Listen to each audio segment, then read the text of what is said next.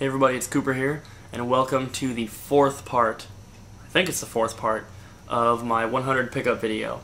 And in this part, I'm only going to be showing you stuff from Orlando. So, in the end of the last video, or close to the end, I'm going to show you some stuff from him. So this whole video is going to be the rest of the stuff from him. And I've got two boxes of stuff to show you. One box is humongous, and one box is a little smaller. So this box I can't even show you. Um, actually, I can show you. What am I thinking? There it is. It's ridiculously heavy. Um, and I don't know if I mentioned it before, but the reason I'm doing this in the living room is because all these boxes will not fit in my bedroom right now uh, without them being stacked on top of each other, and it would just be a huge mess. Plus, I'm in the middle of a, a kind of like a room tour rearranging kind of thing, and I don't want to give anything away yet. So I'm going to start off by showing you the stuff in here, and we're going to end with the stuff in the smaller box. Um, so once again, they're all NES and N64 games. I'd say 99.9% .9 of them are missing the instruction manuals, so if you have any of them, once again, please let me know. I'm interested. so, I guess I'm just going to start grabbing stuff out. Some NES games up first. Nintendo World Cup.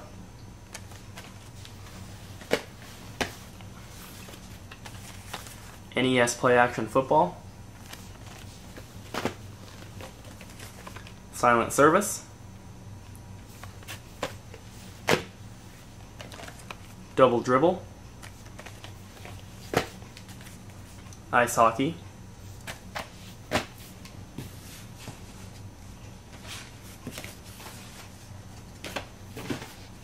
Let me just get a little stack here.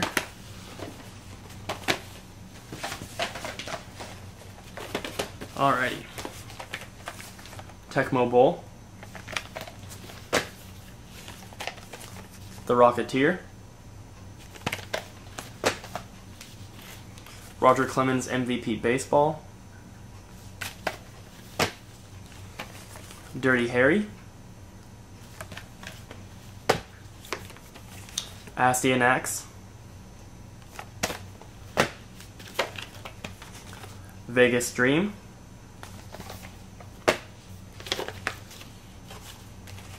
Track and Field 2. Chip 'n Dale Rescue Rangers.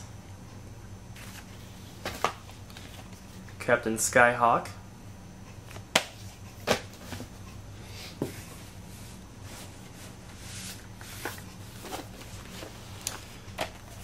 Simpsons, Bart versus the World. The Karate Kid. The Adventures of Bayou Billy. Top Gun. Wheel of Fortune Junior Edition. Baseball Simulator 1, I think it's 1000, but it's 1.000. Oops.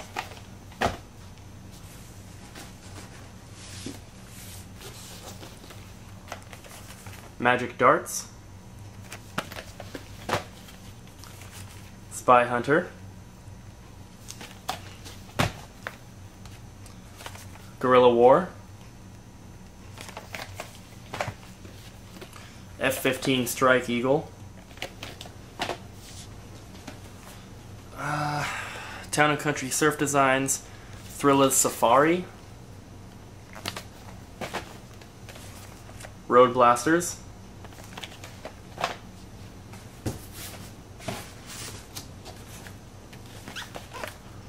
Rollerball. WWF WrestleMania. Wurm, Journey to the Center of the Earth. Wayne Gretzky Hockey. Loops. That box is kind of damaged up there. Most of the boxes though are in great condition, which is very, very cool. Especially the NES ones. Days of Thunder,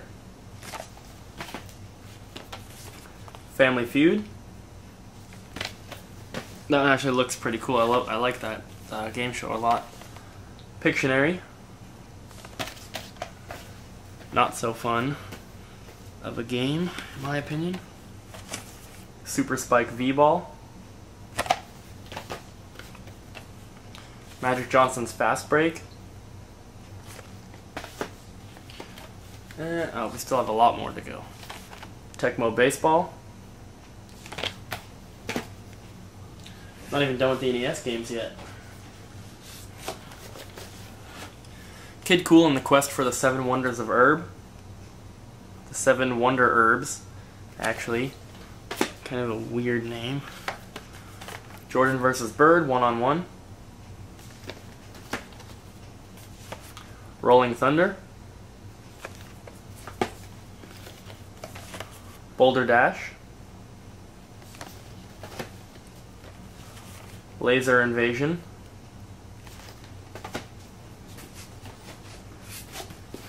think... Yeah, these are the last of the NES games here. Dino Wars. In this box, at least. Beetlejuice. Thought that one was pretty cool. Crunching and Munching Bigfoot. I think it's just called Bigfoot, though. TN, uh, Town and Country Surf Designs. Wood and Water Wood and Water Rage, I think is what it says. It's just TNC Surf Designs is, I think, the official title. Uh, Championship Bowling. And now we will move into... I guess we'll move into N64. There's also GameCube, PS2 in here. So yeah, move into N64 now. First up, ECW Hardcore Evolution. So I've got like four copies of this now, I think. then we have two copies of WCW Nitro. One in much better condition than the other one, so I bet you can guess which one I'm keeping. F1 World Grand Prix. WrestleMania 2000. That box is not in the best shape. Uh, Fox Sports College Hoops 99. NBA Hang Time. And it's going to be really weird for me to say this, or for you guys to hear me say it, but I actually used to love this game when I was a kid. And I played it all the time, uh, which is weird because I usually, the only sports games I really ever like are like, um, like Mario Tennis or Mario Golf or, you know, stuff like that. But NBA Hang Time is really fun from what I remember.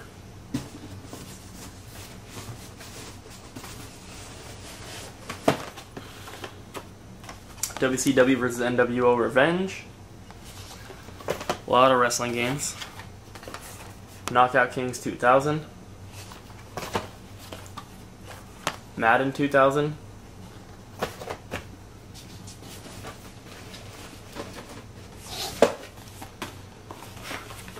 International Track and Field 2000. All-Star Baseball 2001. This is a red cartridge, I believe which is pretty cool. It's always cool to get the colored cartridges. Madden 2001, Indy Racing 2000. So many 2000 and 2001 games right here. NFL QB Club 2001. Polaris Snow Polaris Polaris, how do you say it, Snowcross. I've actually never said that word before. That's really weird. Uh, Olympic Hockey 98.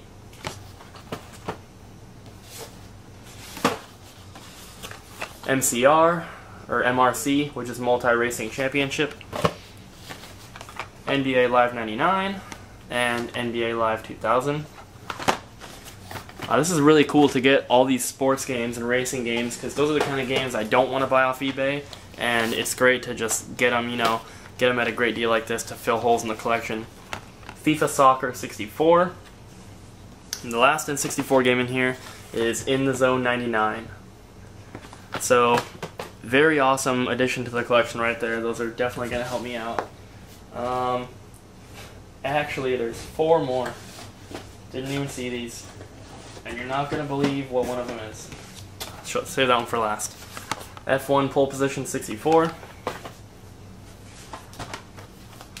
Another Madden 2001. Uh, Wayne Gretzky's 3D Hockey. This is actually going to be a great box upgrade for me because the box I have is in horrible condition. And another ECW Hardcore Evolution. So I don't even know how many copies of that there are now, but that's crazy. There's one cartridge, one N64 cartridge, and I always make it a point not to buy cartridges unless I'm going to sell them because I don't collect cartridge-only games. But this one, I think I'm going to make an exception and try and track down a box and manual for because I love this game so much and I've been wanting it for a long time, and that is Milo's Astro Lanes. I played this as a kid, uh, probably like every other kid. I rented games from Blockbuster back in the day, and that was one of the uh, one of the games that I rented a lot, and I really liked it. Next up, let me just make sure. Okay, next up, I'll get these out of the way before I start with the the better stuff. Um, got a bunch of uh, empty GameCube cases here that all have artwork, and some of them have manuals and inserts and everything. And um, aside from finding the discs for these and completing them, I can use the precautions manuals in there to complete my games. Um, whenever I get a, whenever I get like an empty GameCube case and I get a new precautions manual, I go through all my GameCube games and I find one that's missing it, I put it in there. Um, so I'm hoping that once I complete the GameCube collection, which obviously is very far off, that it'll actually be really complete and have all the precautions manuals and anything. But uh, I'm not going to list these titles off because they're just cases, but I'll go up and you can read them yourself. Nothing too exciting except that one. Mario Tennis is pretty cool to get, even though it's just a case.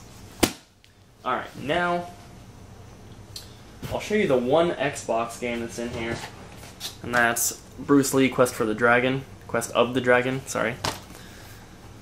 That's the only Xbox game in here. And then I guess I'll just start with GameCube. There's GameCube and PS2 in here. It's mostly GameCube. Let me get back on camera there. Um, most of these are complete. Some of them are missing the manuals. Actually, a lot of them are missing the manuals, but most of them are complete. Um, and there's I barely had any of these, so these are great additions to my GameCube collection. Madden 2005, MLS Extra Time 2002, Tiger Woods 05, Madden 06, The Scorpion King, Rise of the Akkadian, I think, MVP Baseball 2K5.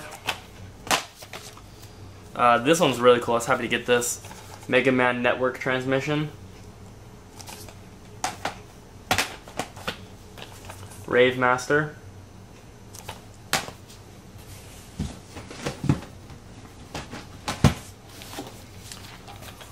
R Racing Evolution,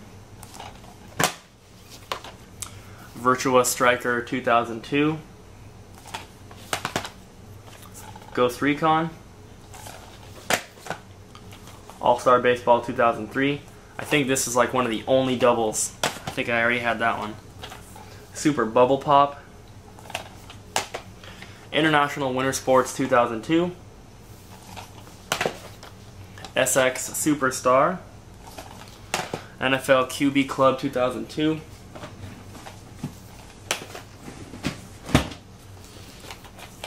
Madden 2002. Samurai Jack, The Shadow of Aku. NCAA Football 03. Mystic Heroes. NHL Hitz Pro. Aquaman. Legacy of Kain, Blood Omen 2.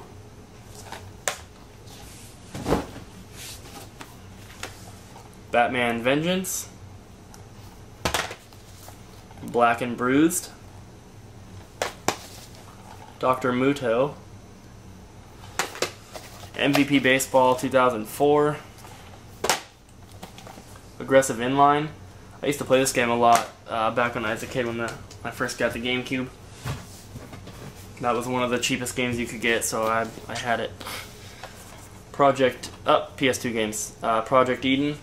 There's still more GameCube games, but they're kind of mixed up, so whatever. Project Eden for the PS2. Mobile Light Force 2. Alter Echo. This one actually looks really cool. Nobun Nobun Nobunaga's Ambition Rise to Power. Can't talk. Let me move the camera a little bit. Sorry about that. Ford Mustang, The Legend Lives. NCAA Game Breaker 2004. Uh, these are the rest of the PS2 games here, then we'll get back into GameCube. MLB Slugfest 2006. Another one's a double. Outlaw Volleyball Remixed. Beach Volleyball Summer Heat. Legend of the Dragon. Tourist Trophy. Winback 2. Winback 2 Project Poseidon. The Bigs. NASCAR 06. Total Team Control. And the last PS2 game in here is the Red Star. Back to GameCube. Uh, a lot less sports titles from here on out. Actually, I'll get I'll get these two sports titles out of the way, and that's it. Um, NFL 2K3 and Madden 05. Prince of Persia, The Warrior Within. Lord of the Rings, The Two Towers. X-Men Legends 2, Rise of Apocalypse. I think that might be a double. This one's definitely a double. Uh, Medabots Infinity. This one's also a double. Cell Damage. This one's also a double. Vexx. Uh, Batman Dark Tomorrow. Space Raiders, Rogue Ops, Catwoman,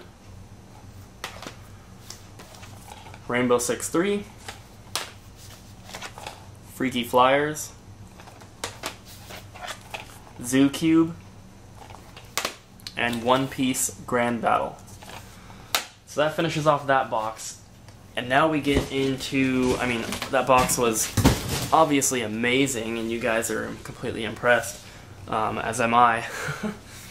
um, but yeah, tons and tons of boxed NES games. I've already showed you a bunch, but like this is just amazing. Um, so many, so many new box games for my collections.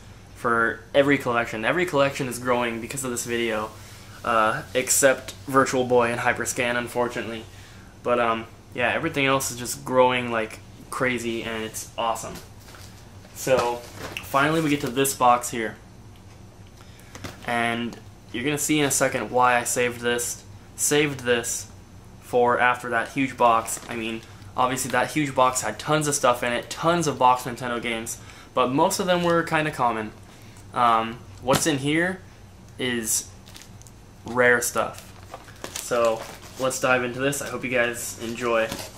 Um,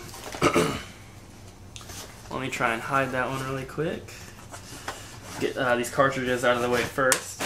Some bubble wrap. Now there's four cartridges in here, and as part of our deal, um, I told Orlando that I would sell these for him, and uh, basically just give him the money from them. And there's four cartridges here. There's Ocarina of Time, Mario Party 2, another Mario Party 2, and Mario Party 3. So, obviously, incredibly popular games, easy to sell. Um, I'm hoping that I can get him about 70-ish dollars for those. Alright, so I guess I'll start off by showing And I'll say that one for last. That's that one's pretty cool. Um, I have five NES games here and one N64 game. Like I said, they're all rare and they're all boxed, so very cool. If you have any of the manuals for these, please let me know. I'd like to get these manuals way more than any other ones, obviously. Um, so I'm going to try and start with the cheapest here and go to the most expensive. Um, I think this is actually the cheapest, and that is The Adventures of Lolo 3. And obviously, it's kind of a rare game, but boxed, I mean, obviously, it's going to be worth more. Um, I think I checked this one, I think, is going, I mean, the cheapest buy it now might not be going for that, but the cheapest buy it now that I saw, I think, was around maybe somewhere between 35 and 55. I don't remember if it was 35 or 55. I think it's one or the other. But, so there's that. Next, I think is Maybe it's this one, maybe it's the next one, I don't know. Uh, Princess Tomato in the Salad Kingdom. I had never heard of this game until um, until this, basically. Um, but it's actually pretty rare. Um, even the cartridge is kind of rare. I think a box copy is like 65-ish to 80, possibly.